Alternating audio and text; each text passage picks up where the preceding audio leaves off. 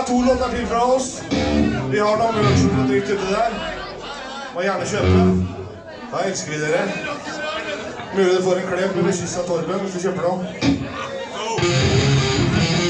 Tusen takk for oss. Det her er Worthless.